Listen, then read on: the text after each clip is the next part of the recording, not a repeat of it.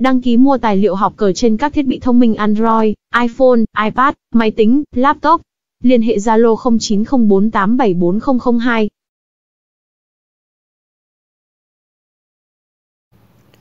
Xin kính chào các yêu cờ. Trong video này kênh Học của Tuấn Online sẽ gửi tới các bạn một trận cờ đặc biệt của ngoại tinh lê khách đánh vào buổi tối ngày hôm qua ngày 19 tháng 10 trên chương trình phát sóng trực tiếp của anh trên ứng dụng chơi cờ Thiên Thiên Tượng Kỳ. Đối thủ của Vương trong trận chiến này là một ờ, cao thủ Việt Nam với cái nick là Kiếm Thần ở đẳng cấp thần 1.1 trên Thiên Thiên Tượng Kỳ. Ở Vương sẽ là người cầm hậu thủ đi sau chúng ta sẽ cùng xem. Ở bên tiên pháo 2 bình 5 và Vương đối lại bằng bình phong hậu thủ. Mã 2 tiến 3, xe 9 bình 8, xe 1 bình 2 và phát triển ở bình phong tròn đến từ ngoại tinh lấy khách.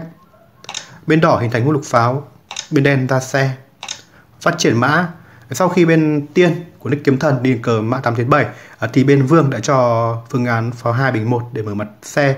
Ngoài ra thì vương vẫn có thể đi theo biến hóa mang cái tính chất phong tỏa hệ thống pháo 8 tiến 4 để hình thành sông pháo quá hà. Trong thực chiến của ván đấu vương pháo 2 bình 1 ở à, bên đỏ mở bình 7, bên đen bình 7 tiến 1 và đường cờ C2 tiến 6 để khống chế điểm cao. Trong biến trên thì ngoại tinh lấy khách đã phát triển tả mã bàn hà. Ngoài ra đối với biến hóa phương án pháo 8 bình 9 vẫn là một biến 2 dành cho cả đôi bên. Đây là một trong những cái khai cuộc các bạn thấy được là cũng rất là quen thuộc. Trong thực chiến khi mà bên ờ, tiên đi C2 tiến 6 thì Vương đã phát triển tả mã bàn hà ngay, âm mưu sẽ đưa binh 7 qua sông và gây áp lực cho mặt trận phòng thủ của bên đỏ. Bên tiên, xe 9 tiến 2 về sau khi cần thiết là có thể bình qua lộ 8 để đấu xe. Bên đen binh 7 tiến 1 xe chạy qua và đánh cờ mã 6 tiến 7 cướp tốt và đang có tình huống phóng tiếp, mã 7 tiến 5 đến từ bên đen của ngoại tinh lai khách. Ở trong biến này thì bên đỏ đã phát triển bằng đường cờ mã 7 tiến 6 để cầu công một điểm tốt đầu. Ngoài ra thì bên tiên vẫn có thể đi theo một biến khác, đó là phương án cờ pháo ở thoái một, ý tưởng là có thể về sau bình xe bắt tốt hoặc là có thể chạy con pháo bình 2 đây là cái hình cờ mà hai bên sẽ có phần gần co hơn. Thoái về thì xe 2 bình 4 và bên đen có thể lắc con à, pháo 8 bình 7 qua đây để đe dọa đánh tước. Đây là cái bối cảnh tấn công vô cùng đặc sắc và có nhiều tính phức tạp hơn.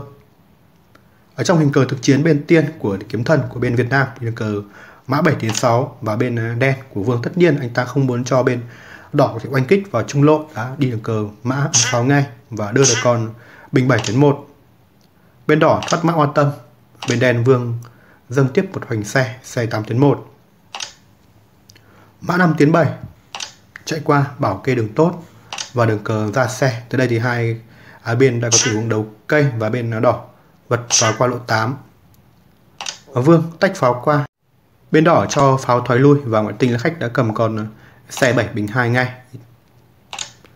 Sĩ 6 tiến 5 và vương tiếp theo, đường cờ pháo à, 1 tiến 4 để vật tốt. Ở trong biến này thì bên à, đỏ đã không đi đường cờ mã 7 tiến 9 bởi đi như vậy thì mặc dù vẫn là cái biên hoa có thể chơi được, nhưng mà với việc không còn xe thì cái bối cảnh mà bị bên à, đen tấn công bằng xe pháo mã linh hoạt là rất đáng ngại. Chúng ta có thể xét qua biến này. Đi như vậy thì bên đen người ta sẽ xe 2 tiến 8 và có thể thoái con xe về để phòng thủ điểm tốt về sau thì với ưu thế ở đường binh 7 đồng thời hệ thống pháo mã linh hoạt thì đây là cái hình cờ mà bên đen sẽ phản tiên. Ở trong thực chiến thì bên uh, tiên đã lắp con uh, pháo 8 bình 9 để tránh đòn và Vương vẫn tiếp tục tấn công, anh đi đường cờ rất dứt khoát C2 tiến 6. À, kiềm chế đường mã của bên đỏ. Bên đỏ phế binh để có thể chạy qua. À, Vương tượng 3 tiến 5 vừa phòng thủ vừa bắt xe. Xe 7 tiến 1 Tiếp tục đường cờ gây khó chịu đến từ vương thứ nhất đường cờ phá một đến một khi cần là có thể hủy vào à, con mã của bên tiên ngay. Bên đỏ thoát mã về, ở à, vương nghệ sĩ 6 tiến 5 củng cố trung tâm. Tới đây thì chúng ta sẽ cùng xem tiếp những diễn biến còn lại của ván cờ. Binh 5 tiến 1. Lượn mã lên, ở vương chạy tốt và đường cờ binh 5 tấn 1 một đường phế tốt để tấn công khá hay. Đối với vương nhất thì đây là cái đường cờ mà anh có thể nhìn ra được anh đã không phạm sai lầm. Các bạn có thể xét qua đối với biến hòa trên mà bên đen mà đi bình 5 à, thì bên đỏ sẽ lượn được con mã 4 tiến 6 để vừa đe dọa bắt pháo vừa đe dọa ăn với tốt. À, pháo bắt buộc là phải chạy đi bởi để ăn pháo là mất tiếp mã. Đây là cái hình cờ mà bên à, tiên sẽ mở rộng được đường hoạt động và cũng là cướp lại được con tốt của bên đen là cái hình cờ mà bên đỏ sẽ có lợi hơn về sau ở trong thực chiến thì Vương rõ ràng là không đi bên hoàn đó anh cho xe 2 à, thoái 3 để kiểm tỏa bờ sông bên tiên phát triển mã, bên Vương cho pháo 1 thoái 3 tiếp tục tấn công thoái CV và C2 bình 3 một đường cờ đơn giản nhưng đảm bảo ưu thế dành cho bên đen. Tới đây bắt buộc là hai bên phải đấu xe và chuyển về hình cờ tàn đi bộ. Đối với cờ tàn Trung Quốc thì các bạn biết là cờ tàn của Trung Hoa rất là mạnh. Tới đây thì bên đỏ đã đi một đường cờ khá sai lầm là phương án pháo chí bình nam để hy vọng bên ờ, đen ăn tuất qua thì vật pháo lên để phản công. Ờ, tuy nhiên đây là biến sai lầm. Bên đỏ có thể đi đường cờ binh 5 tuyến 1 thì mặc dù vẫn đứng ở cái thế, ở cửa dưới nhưng nó vẫn còn tốt hơn trong cái biến ờ, chính thức của ván cờ. Ở trong chính cuộc đường cờ pháo chín bình nam đã bị thất tiên khi mà bên đen của Vương đã có tình huống đâm chiếu và ăn được tốt tràn sông. Trong thực chiến thì bên ờ, tiên đã phải thu tượng về và để mất tốt đầu. Ngoài ra các bạn có thể thấy thêm biến hóa nếu mà thoái mã về ờ, thì sao? Đi như vậy thì bên đen sẽ phát triển mã 3 tiến 2 để âm mưu chạy còn ờ, pháo 6 bình 2 và bắt mã. Đây là cái bối cảnh mà bên đỏ sẽ bị lâm nguy.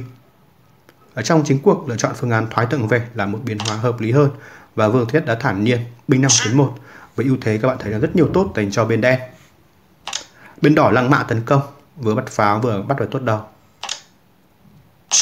Và tiếp theo Vương vật pháo ngay, chuyển về hình cờ tàn tất thắng dành cho bên đen, đặc biệt là người cầm bên hậu thủ là kỳ thủ số 1 của Trung Hoa. Anh là người có những đường cờ về xử lý về phần cờ tàn hay nhất của Trung Hoa hiện nay bên cạnh Trịnh Duy Đồng. Ở đây chúng ta sẽ cùng xem nhanh bởi những biến còn lại các bạn có thể thấy ngay là bên à, đỏ với hai mã không thể làm chống được ở pháo mã đồng thời hệ thống tốt linh hoạt của bên đen. Vương chống sĩ lên bắt đầu sửa hình. Bên đỏ đi binh một Vương tiếp tục lăng mã tấn công. Thoát về và đường cờ mã 2 tiến 4 đang phục giao thủ pháp sát cục bằng đường cờ mã 4 tiến 3. Bên tiên, sĩ 4 tiến 5 Vương, mã 4 tiến 2 vẫn đang đe dọa đánh tượng và trong biến trên thì bên đỏ đã tiếp tục phạm một sai lầm lớn khi đi đường cờ vén tượng 3 tiến 5. Ngoài ra thì bên tiên lên đi đường cờ chạy tướng qua lộ 4 mặc dù vẫn đứng ở cái thế kém hơn nhưng mà đây là cái bối cảnh mà vẫn còn một tượng để có thể phòng thủ về sau. Trong thực chiến đường cờ tượng 3 tiến 5 đã không giải quyết vấn đề gì, càng tạo điều kiện cho vương đi được binh 5. Các bạn thấy tượng không thể ăn qua được. Bên tiên lăng mã chiếu lên và ra tướng tới đây thì vương thản nhiên đi đường cờ chém tượng ngay và đang phục ra cái đường cờ sắt pháp trong biến thực chiến thì bên đỏ đã rất tỉnh táo khi đưa tướng lên lầu 2 để chạy thoát. Ngoài ra nếu mà sai lầm đi được cờ mãnh công bằng phương án cờ mã 1 đến 3. Đi như vậy thì bên ờ, đỏ sẽ phải thua ngay khi mà bên vương sẽ có tình huống ờ, thoái con mã 3 thoái 4 để tấn công và một đường cờ phế tốt đỉnh cao. Các bạn thấy đây là lưỡng chiếu rồi, bắt buộc tướng phải lên lầu 3 và pháo 1 thoái 2 tuyệt sát ngay. Ở trong thực chiến thì bên tiên đã nhìn ra được tinh ý trên anh đi phương án cờ ở tướng 4 tiến 1. Và bên đen của Vương cũng chưa bung tha anh cho tướng qua lộ 6, phục ra cái đường cờ có thể chống sĩ lên bắt chết mã.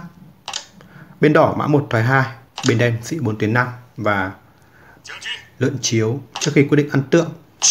Các bạn thấy vị trí ăn tượng cũng khá hay nhưng mà sau đó Vương đi một đường cờ đơn giản là phương án tướng 6 tiến 1 và bắt chết mã của bên đỏ Đánh cờ tới vị trên thì bên tiên của Nick Kiếm Thân của bên Việt Nam đã phải buông cờ nhận thua trước đường cờ tinh hoa của anh Tinh Lê Khách. Như vậy mình vừa phân tích xong và bây giờ cùng các bạn ván đấu online của Vương trên chương trình phát sóng trực tiếp của anh tối 19 tháng 10. Xin kính chào và hẹn gặp lại các bạn trong những video tới đây. Rất mong các bạn sẽ tiếp tục like, đăng ký đón chào những chương trình mới của kênh. Xin chào và hẹn gặp lại các bạn.